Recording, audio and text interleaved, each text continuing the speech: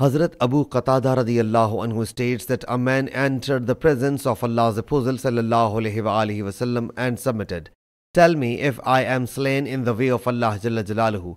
Then hadith goes like the previous one. Sahih Muslim hadith number 4858.